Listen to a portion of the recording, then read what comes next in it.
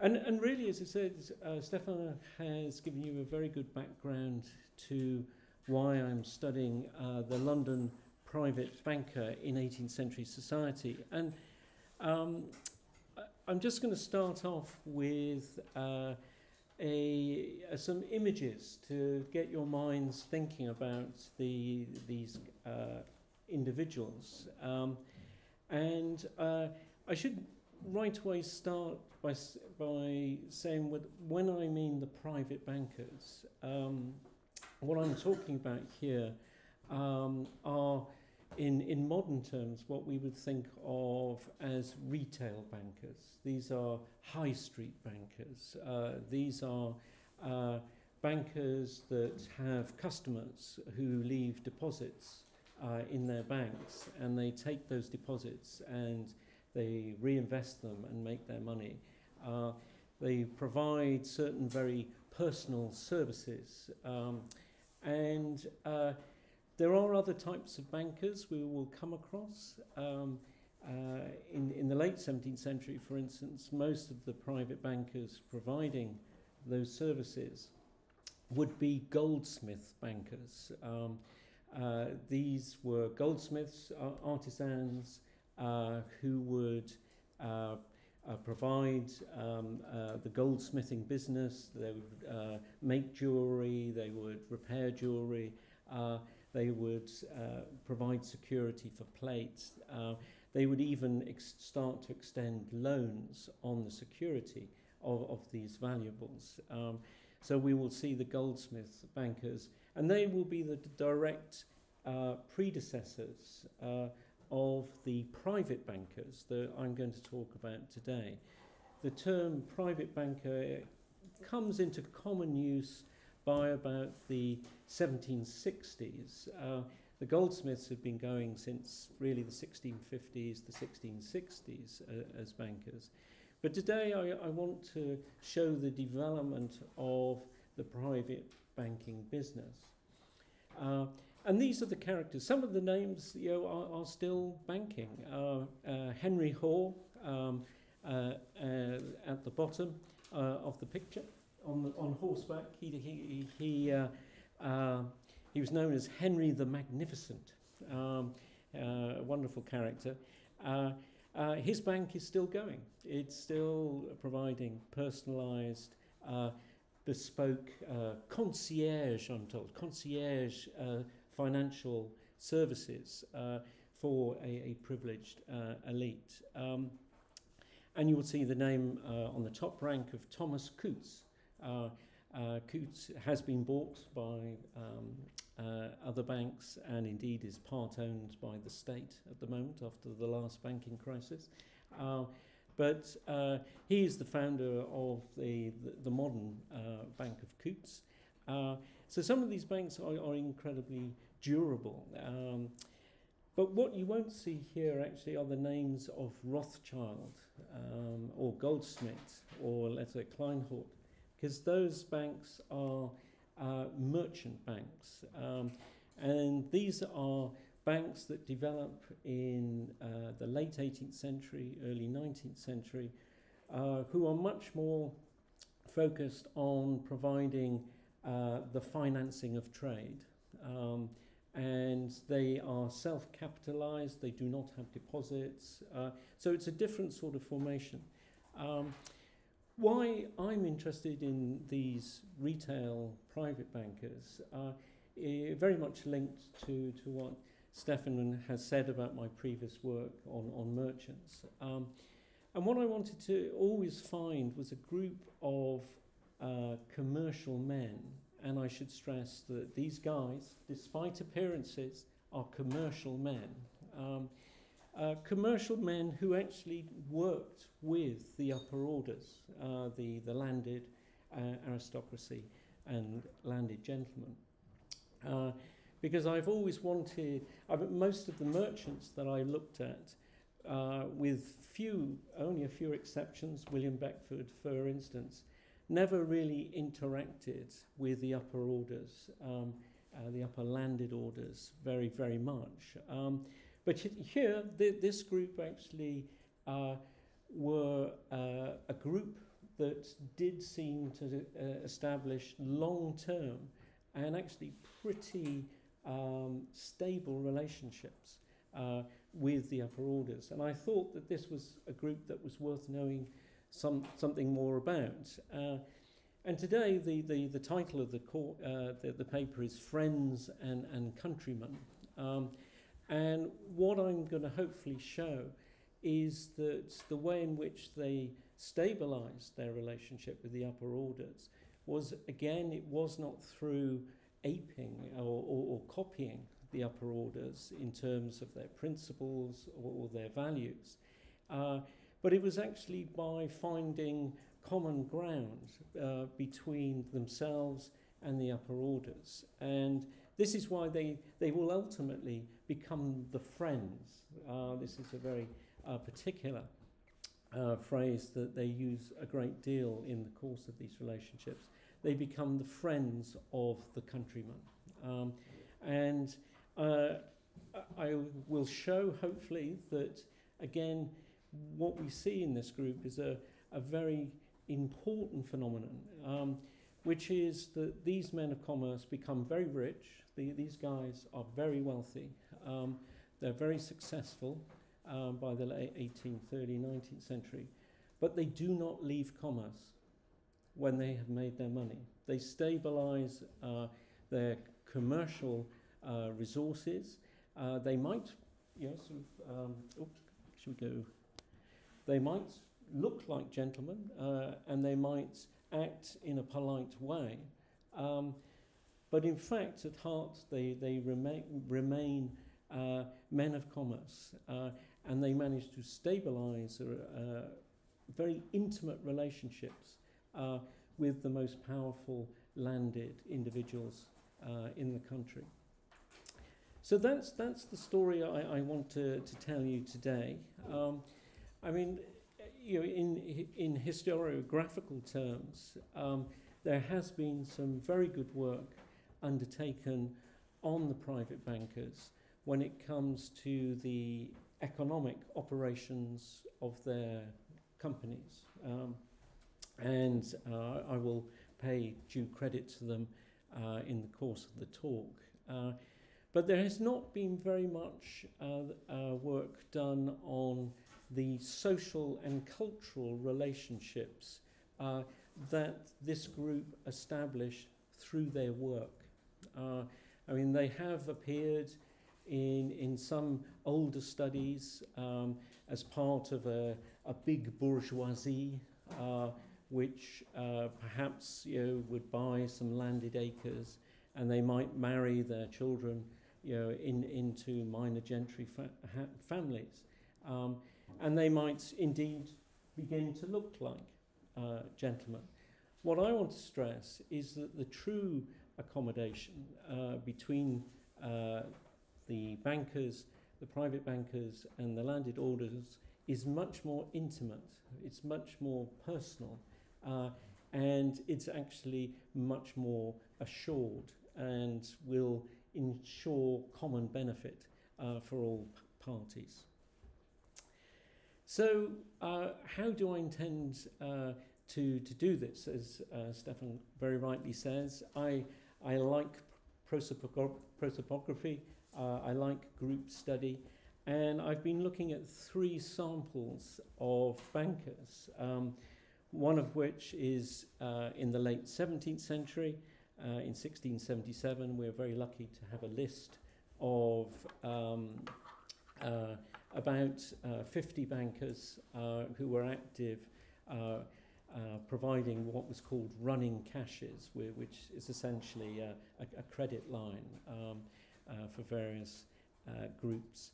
Um, so one from the late 17th century, one from the 1730s, which I think is a particularly interesting stage for the development of private banking, uh, and then another in the 1780s, uh, which sees the bankers establish themselves uh, very securely uh, as part, if you like, of a, a national uh, financial system.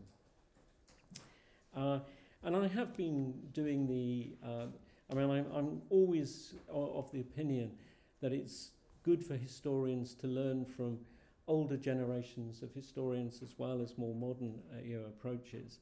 So I have done the, if you like, the the the, the methods of the uh, 1970s and the 1980s, where uh, scholars would look at uh, the purchase of landed estates and marriage and education, etc., etc. I have done that. Um, but I, what I've also been looking at in, in the wider work is how, in both work um, and indeed outside of work, how the private bankers interact with national society. You know, that's at the heart of every. And as you'll see today, you know, what will I do today?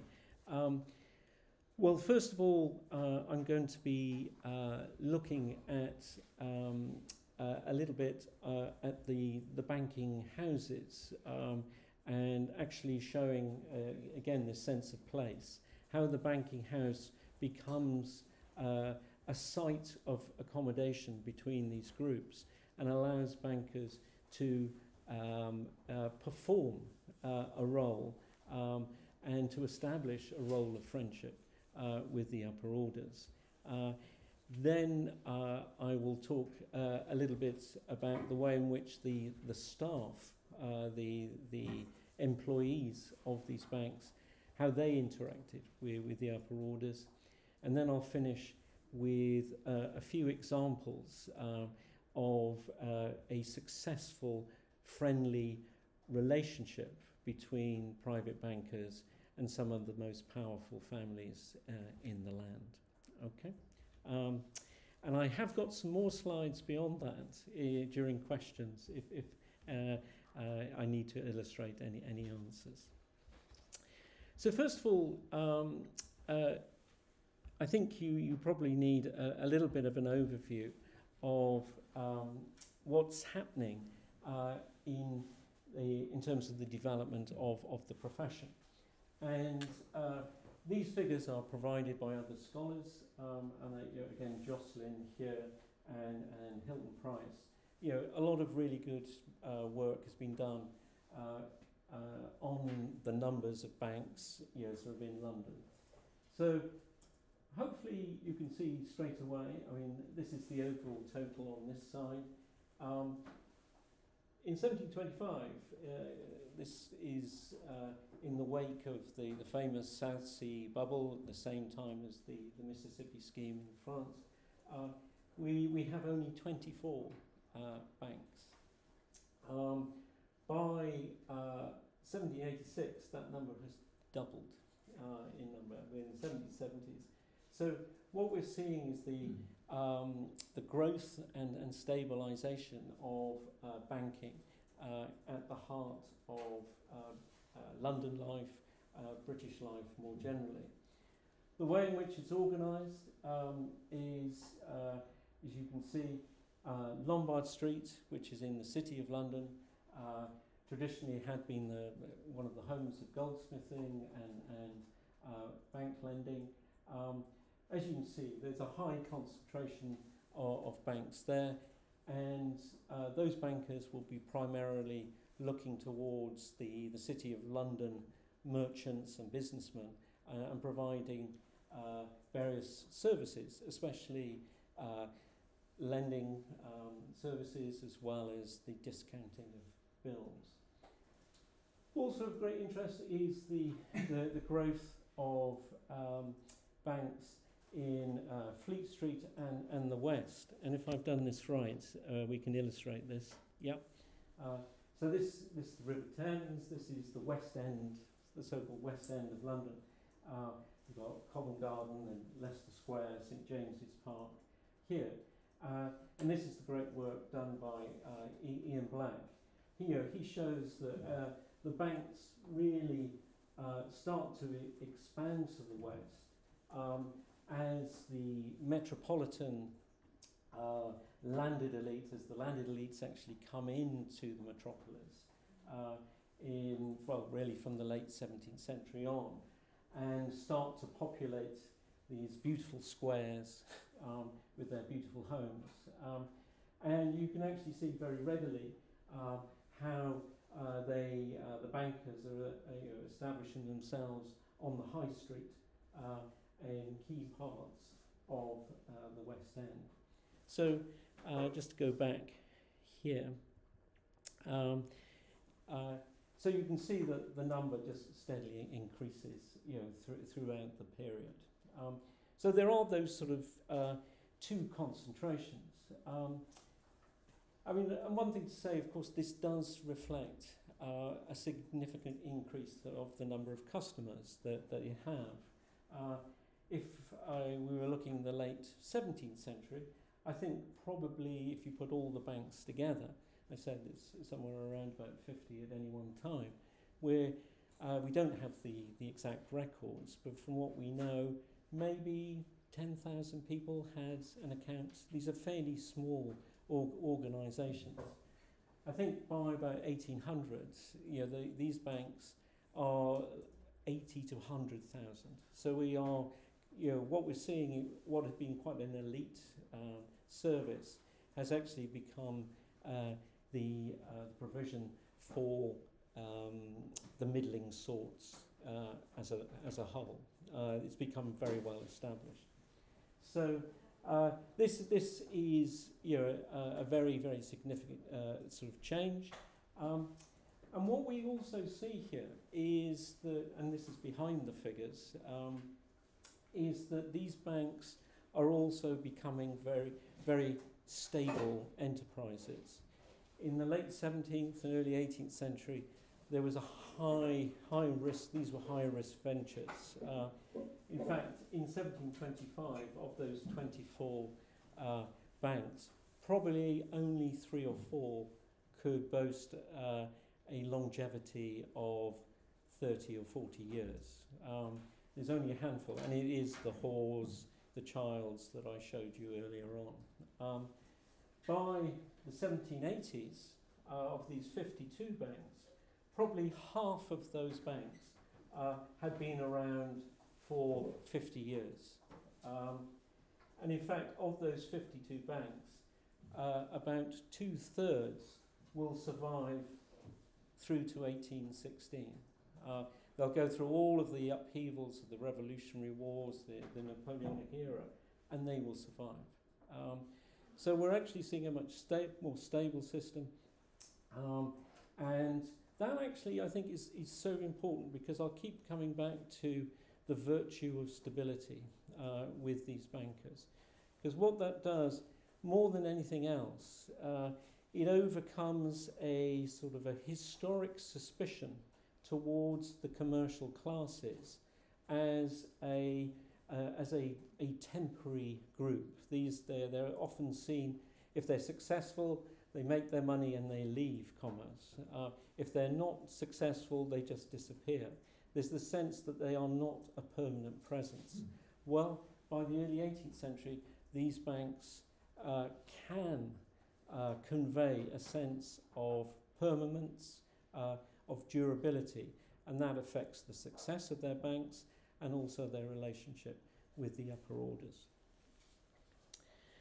And it's very important to see that the bankers worked hard uh, in order to convey that permanence. And I'm going to uh, come down now to, to these banking houses. Um, and, and these are, a, are just a couple of examples that, um, and this comes from the work of, of Iain Black, um, whose articles are, he's an architectural historian, rather than a, a broader social historian.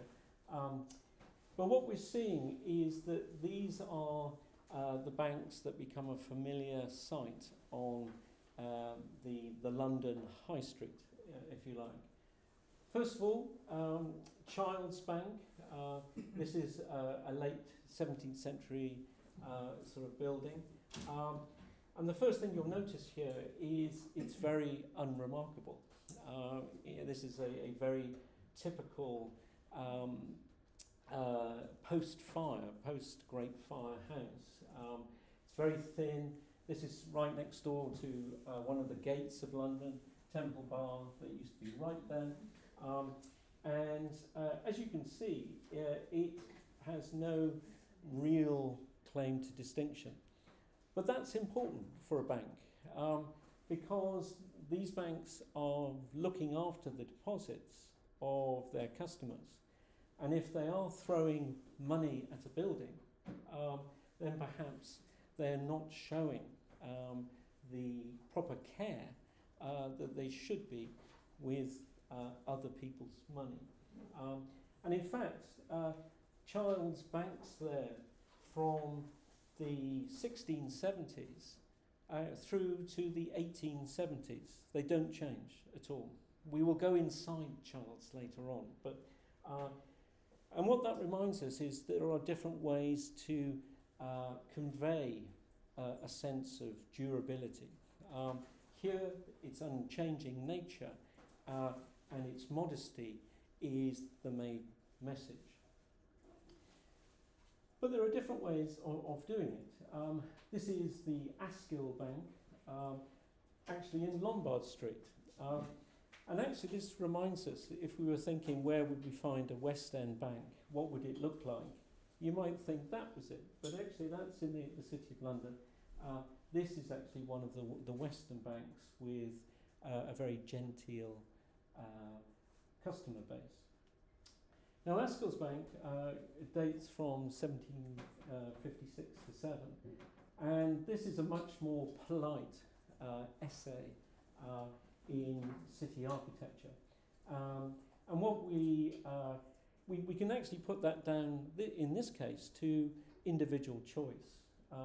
Because Asgill himself uh, wanted to promote the City of London. Um, uh, he had indeed, he spent money on a, a new carriage, a new coach uh, for uh, the, uh, the Mayor of London for his uh, ceremonial day.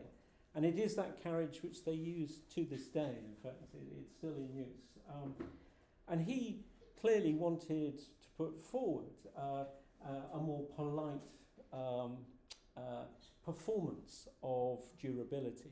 Uh, he wanted to give the sense that, you know, through the classical architecture here, um, that, uh, and the, uh, the heavy rustication you know, of the shop front, he wanted to give the impression that uh, this bank is here to stay.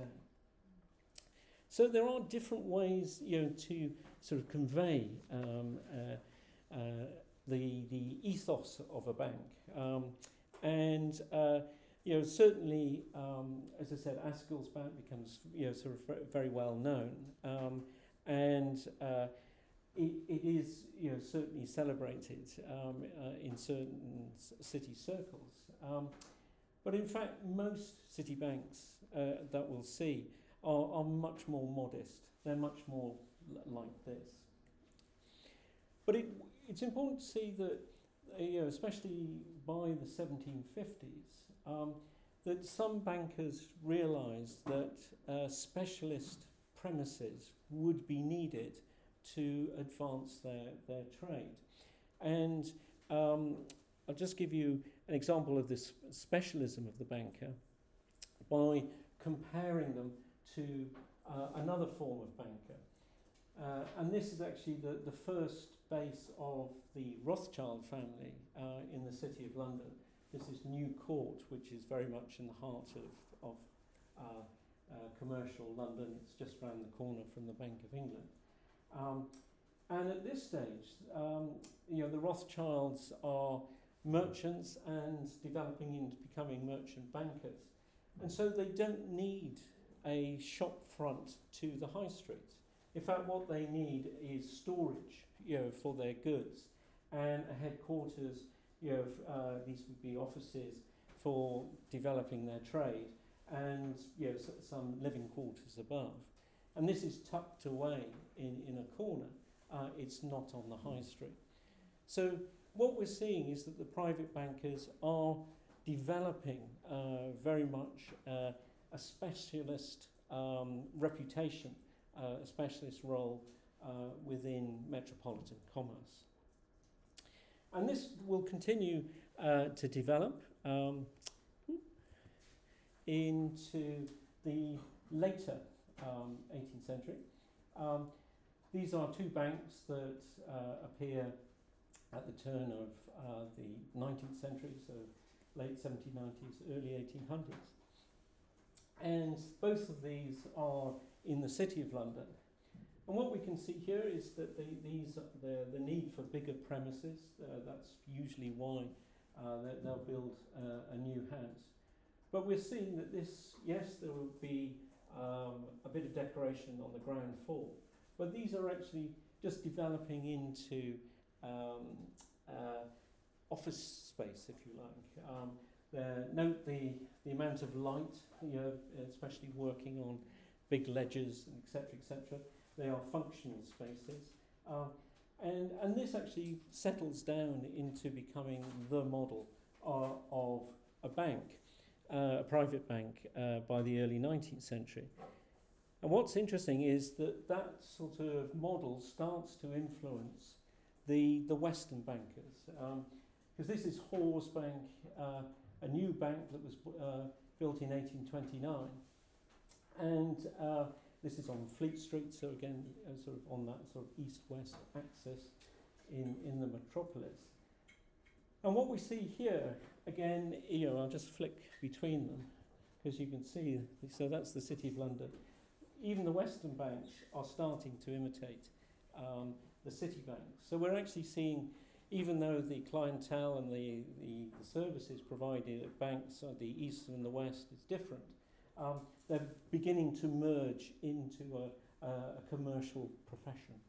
Um, and what's particularly interesting uh, about Hoare's is that we know that there was an earlier plan which actually had uh, um, a sort of a, a Greek portico uh, at one end, so a, a nice grand state, you know, architectural statement.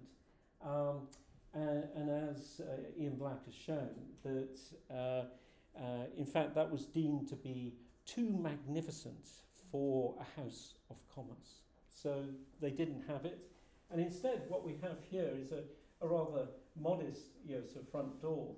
And this little squiggle here, you can't really make it out, um, is actually, uh, what, it's, a, it's a bottle. It's like a leather pouch bottle.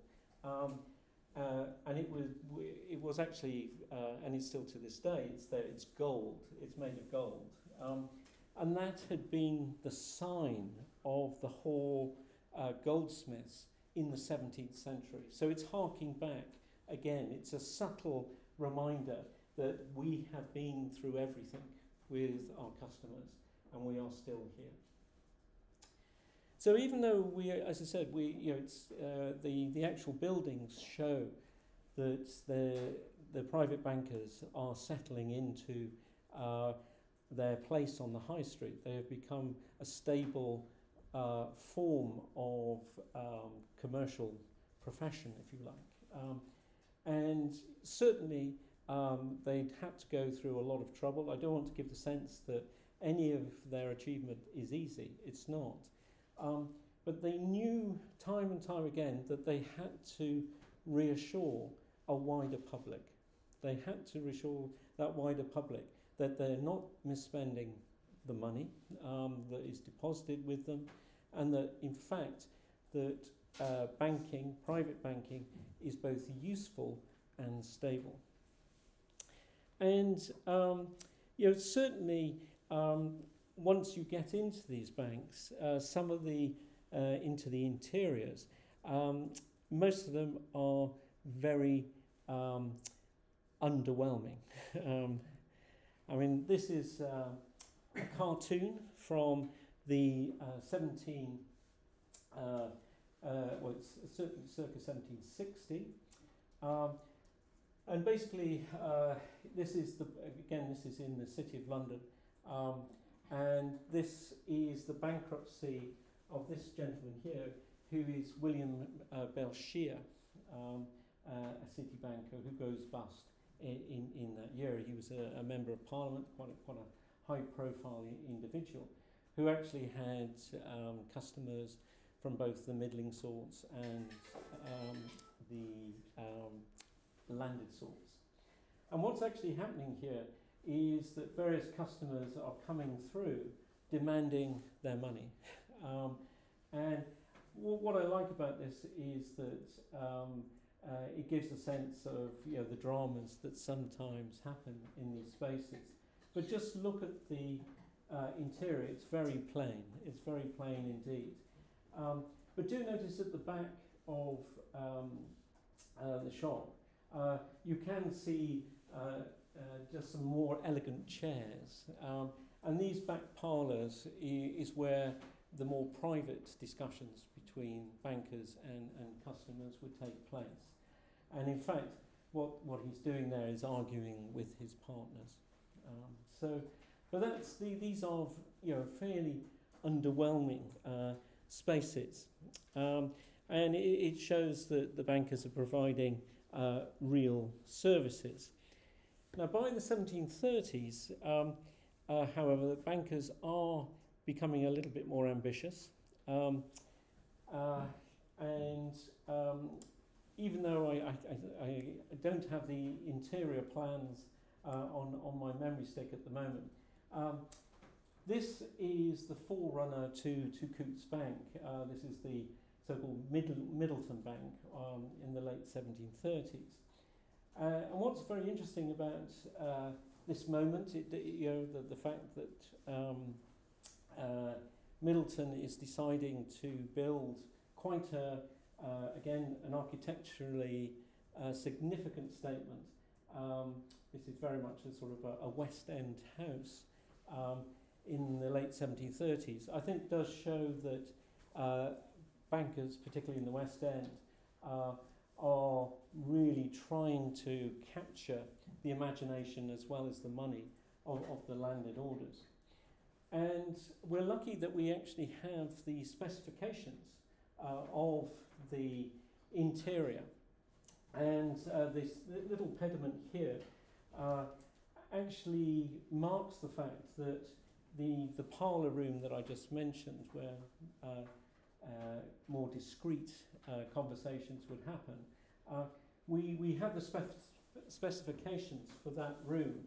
And it, the, the architect was told to copy a West End reception room. So very much you know, sort of targeting those upper orders. Um, and there was even uh, a water closet there, which would had a, a mahogany uh, uh, seat for aristocratic um, backsides. So they, they really are thinking of, of, of everything. Um, but also, one, one thing that they um, don't uh, look to save money on, and, and they will spend big money on, is actually uh, locks and iron gates and iron uh, shutters. Um, you know, this is a very secure space as well, and that's you know another of the, the messages they want to get across. Because um, as early as the, the 1720s, 1730s, we know that uh, criminals are targeting uh, these spaces. You know, they've realised that these are places where uh, significant sums of money um, are, uh, and they are very keen uh, to protect them. So, even though it does look like um, a, a West End house, uh, we have to realise that um, you know that this is a serious business within it. Um, and even though there will be performance, there has to be good service. Now, um, by with, with the appearance of these banks, um, we actually do begin to see a lot of commentary um, from uh, various uh, social critics uh, who start to pick up on the social prominence you know, of these bankers. Um, they have moved away from their goldsmithing roots and they are now uh, performing uh, you know, sort of very direct financial services for both the, the landed and com commercial elites of the country. Um, and as a sign of this, in, in 1784, uh, Pitt, uh, the, um, the younger, the Prime Minister, uh, introduces a shop tax. Um, uh, and there's a big debate about whether bankers qualify as a shop or not. I mean, as goldsmiths, yes, they had a shop. And in fact, uh, a lot of bankers, uh, you know, sometimes to prove how durable they are, would refer to the bank as the shop. You know, they, they, in some ways, there's a bit of in, inverse snobbery there um, uh, because they know it stresses their longevity. Um, but some bankers you know, reject being shopkeepers. Uh, a, a nice, nice quote um, from uh, a city banker, his name is Nathaniel Newman. He said that no judge could ever convince him that he was a shopkeeper. So uh, they are proud of their, their, their status. Um, I mean, again, this, this is based on a, a commercial eminence, uh, commercial utility, and they want to be seen uh, above the uh, other retailers on, on the high streets. Um, and um, this prominence, this social prominence, um, does see, see them receive a great deal of criticism, uh, uh, especially uh, at any point when there is a financial crisis or um, there is a, a, a, difficulty with the economy. Um, I mean, for instance, in the, the mid 1790s, uh, we, we will see that um, uh, uh, critics would complain about what they called the empiricism or the uh, empiricism. Is that okay? Empiricism. Um, what what they mean about that is um, that the performance of the bankers is hiding the reality. Um, I mean, what they complain is, and uh, here's a quote, um, that they were, well, they were uh, accused of deception.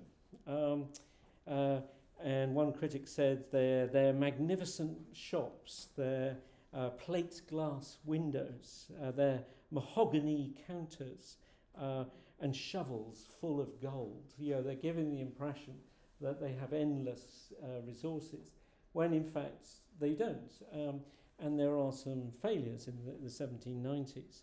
Um, and, and this is actually seen in some quarters uh, that the banks are claiming a dangerous credit. Okay, so the, the actual verdict on the banker, uh, whether they'll be received well uh, by the most powerful in, in the country is another matter. But moving away from, from the buildings, um, the, the bankers also um, were very keen to ensure that their staff um, uh, presented themselves uh, well, and they really did see the staff as a way to create uh, an almost club-like feeling um, uh, with, within the bank. Um, and there's been some very, very good work done recently on the Bank of England by Anne Murphy, um, uh, who's, I recommend her book from last year, uh, Virtuous Bankers, it's called. Um, very odd title in some ways, um, very provocative title. Um, and it looks at the Bank of England and the way uh, on the public stage how the Bank of England uh, arranged not only their buildings but also their staff uh, in order to send reassuring messages about the solidity of public credit. Well, these private bankers, in essence, you do exactly the same. And I'll, I'll just give you, again, some images here to give you uh, uh, an idea of what's going on in, in the interiors. And this, just to set the scene, this is just a, uh, an interior of uh, Child's Bank, which we saw earlier. And just to say, it's very ordinary. That's the only point I want to make about it. Um, you know, there, there are these counters here, um, and it, you know, there, there isn't you know, a, a sense of grandeur at all. And we saw the building; it didn't promise much, it doesn't deliver much. But what we actually see, um, and this this is a very lucky survival. Um, is that in Child's they, they have a, a um, one of the staff was a cartoonist. um, very, very lucky. Um, and in the late 1790s, early 1800s, uh, he leaves lots of pictures of uh, life in the bank um, on a day-to-day -day basis. And I'll just show you a couple, you know, because we haven't got too much time. Uh, but what, what this shows, it's 1797, okay, this is a, a, peak period of pressure during the, the Revolutionary Wars. Uh, the Bank of England you know, suspends cash payments this, this year, everyone was thinking what's going to happen next. Um, and what we actually see here is, again, there's that canter we just saw. Um, and what we have is uh, uh, a bank clerk, um, uh, and we, we have various um, customers who are demanding their money. They, they want their money, they want to take their money out. Uh, and he's saying, What do you say? He's pretending not to hear them. You know, um, and you know, he, it's called the Dollar Chancellor. Um, and uh, in essence, what it's showing is that you know, they can rely on their staff to uh, help support the bank both in on the good days and also on, on the bad days. Give you another one. These are all very good. Um, this is uh, samples of gentility, um, and what uh, what it says here is that here are the staff, um, and in fact, a lady who's got a very fashionable hat on can't find a way out of, of the bank. Um, so they are showing gently guiding her uh, out of the bank. So that sense of um, service, that sense of uh, supporting the bank uh, in uh, the character uh, of their day to day duties is crucial to setting the tone for these banks. Now, um, they do this because, again, they, they are under pressure. And just give you another sample of that. Um, this is the so-called the bank macaroni of, of 1773. Um, it comes in the wake, again, of a, a, a pressure moment on the British economy, uh, the so-called um, uh, Ayr, Ayr bank crisis in 1772 when a Scottish bank uh, went bankrupt and caused uh, an earthquake of credit um, problems, uh, which did reach the metropolis and the rest of the country. Um, and bankers were being widely censured at that moment, and there was calls for regulation of the private banking sector. Well, this um, uh, Matthew Darly, uh, well-known satirist, he, he turns his attention to the bankers, and he says the problem is is that all the bankers want to be gentlemen, basically. And this actually is one of their staff, even worse. This is a member of staff uh, who should be you know, modestly dressed and, and serving the customer and has got the, the beautiful coat with the, the gold um, uh, braiding and buttons. Um, and um, and we, we also see it in the next one, which is 1805, another difficult year uh, for the economy. And again, uh, we have an honest, rustic gentleman with his uh, loyal hound, his loyal dog, again, uh, coming in and wanting uh, to be paid you know, his money. Um, and the, the staff are, are delaying him. Um, and you can see the, the, the rich uh, waistcoats there. And there is one of the shovels full of gold that uh, we were talking about uh, earlier on. So uh, the actual staff are under great pressure to uh, act for and provide uh, a great deal of support for the company in their day-to-day re relationships. And um, and the, the banks do not, um, you know, they take every opportunity to reassure customers that they're acting in their interests. And um, here's uh, an interesting um, ad advertisement, in essence, uh, from a bank. This is the Herries Bank, which is a, a West End bank. Um, and uh, they're writing in 1816 about the change of partnership. Um, and it's a very, you, you, you, you can read this better than I can. um, but what I would pull out here is that every phrase uh, underscores certain principles uh, that the bank want to emphasize about their relationship with customers. Um, and um, it's, you know, it says we're, we're just having a, a retirement uh, here, uh, but there's nothing to see um, because he will be uh, replaced um, and we will not change anything here. You know, aucun changement. You know, there will be no change. You know, uh, whatsoever.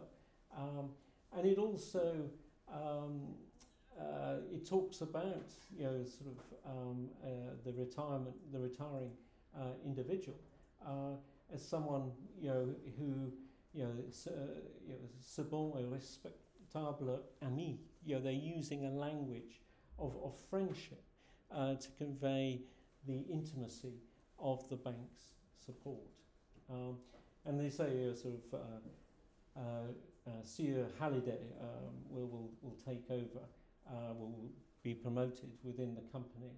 Um, and they stress that he's worked here for a long time uh, and he has you know, sort of our entire uh, confidence. Okay, so the, this sort of relationship is it's very important to work uh, at the confidence of the customer and you know, especially at key moments of change within a firm, they would want to make sure that uh, customers were reassured. Um, and these are just, you know, some, I, you know, the time prevents me going on too long, but there are lots of other strategies that uh, the banks use to, to build relationships. And I think it's probably best if I just show you um, uh, a banker in action. Um, and this is uh, uh, Thomas Coutts. Here he is, here.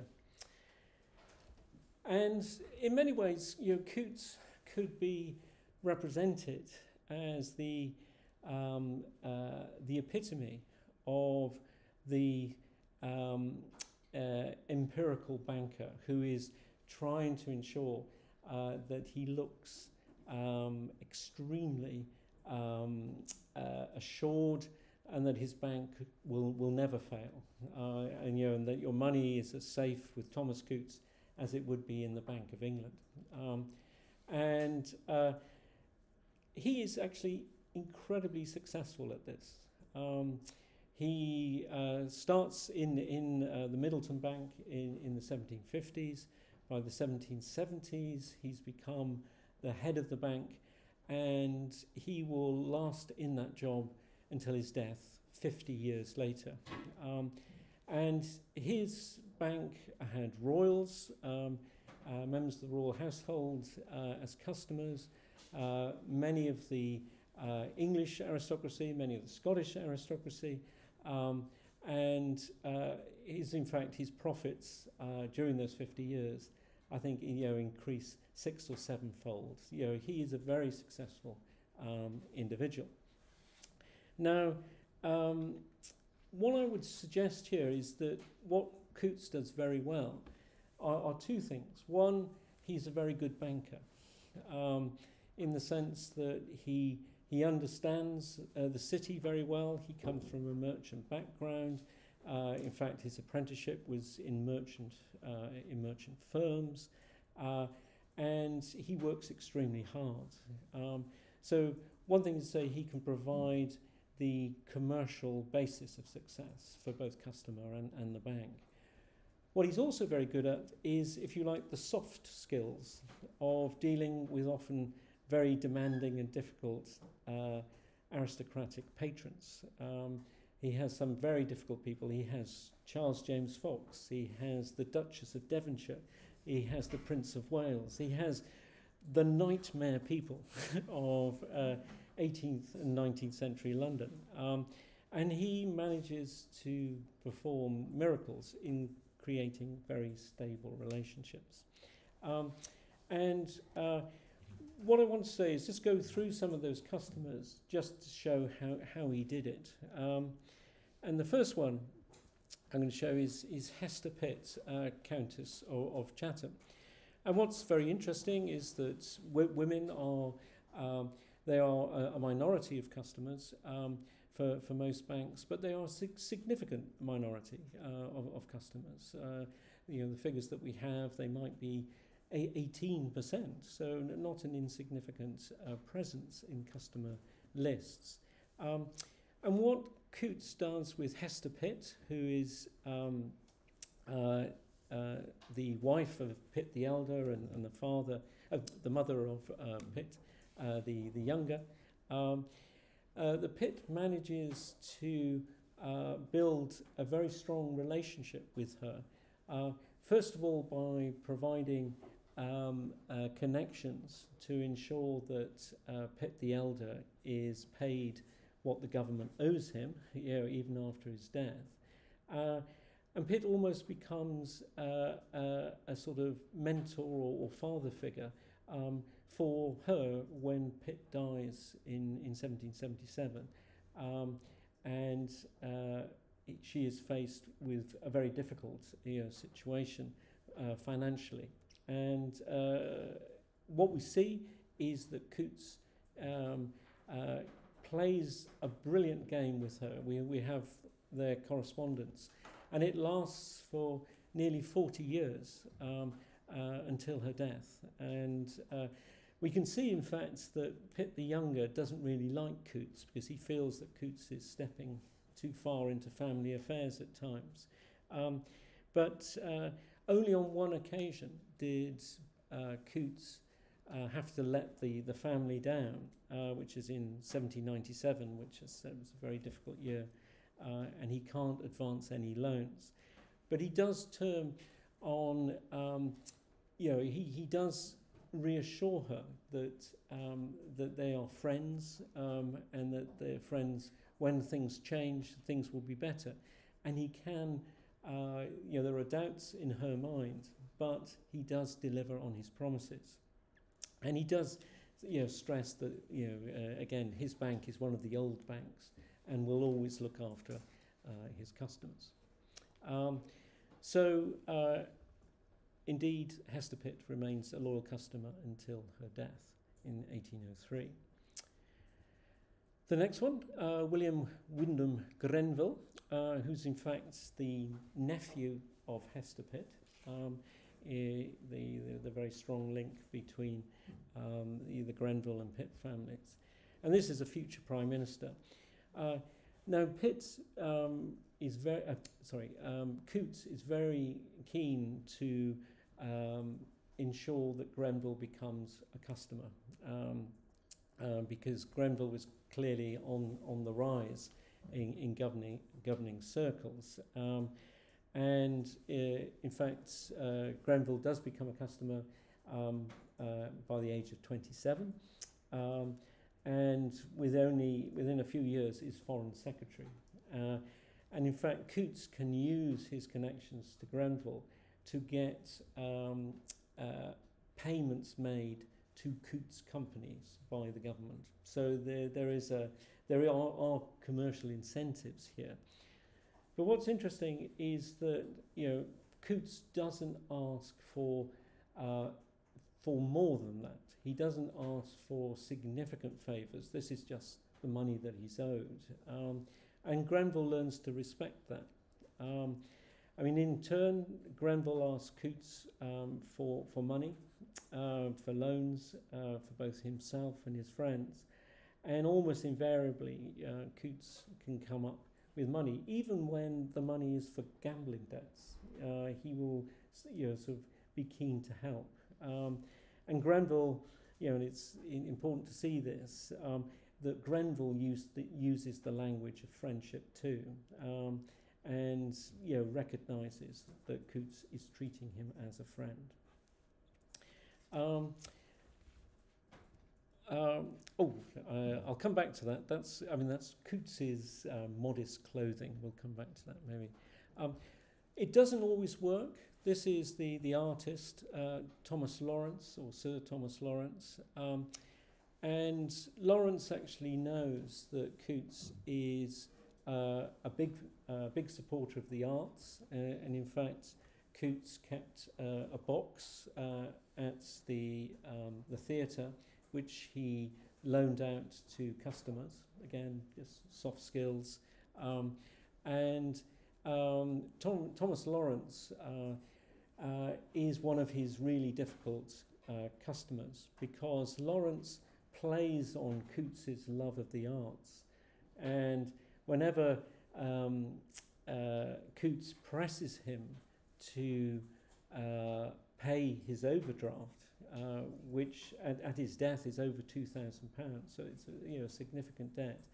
Um, whenever uh, Coutts presses him, he's, he suggests that that sort of pressure will mean that he cannot paint.